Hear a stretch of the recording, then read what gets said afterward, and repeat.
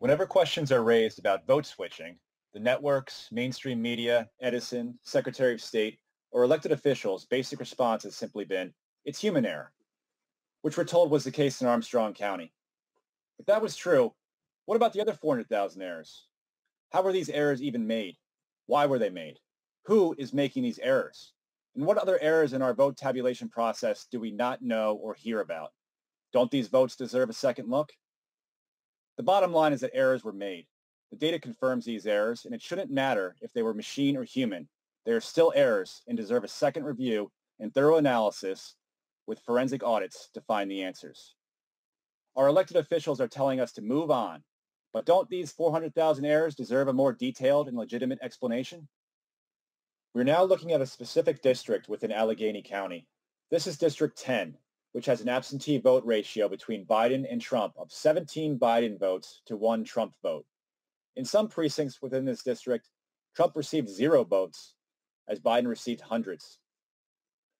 The reason we draw attention to this geography is because Allegheny County as a whole was closer to four Biden votes for one Trump vote, which is above average to begin with. In addition, all other Allegheny districts voted 78% Biden on average, while we see a staggering 93% here. This resulted in over 23,000 votes for Biden, as Trump only received 1,300. These statistical outliers fall well outside of normal distribution patterns, which are highly unlikely. Moving on from the statistically anomalous vote totals within an Allegheny district, as you can now see, Allegheny as a whole had a normal accumulation of absentee votes for Biden, except for two data points, where it looks like data was deleted. Now, if we look at Trump's vote accumulation, the data system logs report a 145,000 vote increase, followed by a vote reset or deletion, where he doesn't again reach those original absentee totals. And yet our elected officials are certifying these results without answering these questions or explaining what the reason is within the data. Where do the votes go? And it wasn't just absentee votes that logged strange activity in Allegheny. The election day votes also go negative or decrease for Donald Trump. Looking from left to right, which represent the individual time updates where vote updates were released, Trump totals increased over 20,000, which were then removed as he falls back down to near zero. He continues to increase and then loses around 1,300, over 800, around 1,500, and then 1,800 votes in succession. In total, over 27,000 votes are removed from Trump's cumulative totals.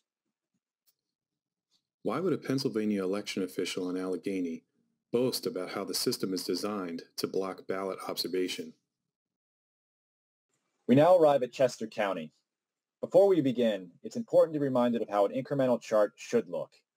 From left to right, each vote total update should stay flat or increase only. When you see a decrease in the chart, that means votes are being removed.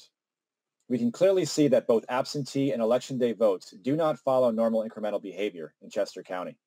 Trump loses almost 26,000 from his election day and nearly 50,000 from his absentee. He later loses over 9,000 and then again over 6,000 from his election day updates. Again, this is something that should never occur in an additive voting process. Lehigh County is another example of irregular activity within the election voting data. This is another time series example where we move from left to right looking at the incremental vote totals, which should only be flat or incremental.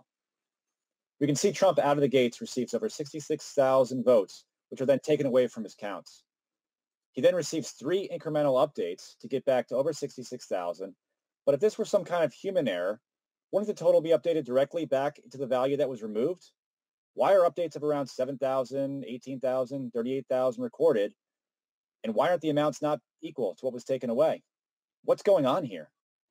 So on this slide, we take the time to look at one of the most egregious parts of Pennsylvania, and that's Philadelphia.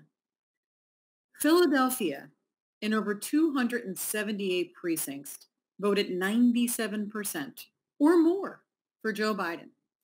We really want you to think about this for a minute.